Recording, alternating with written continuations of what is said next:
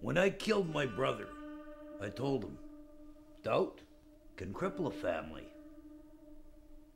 This business, our crew, is our family. The moment doubt comes into play is the moment the game is over. I don't trust anyone, but at some point I have to rely on someone. And I'm beginning to regret ever having to rely on you, Nathan.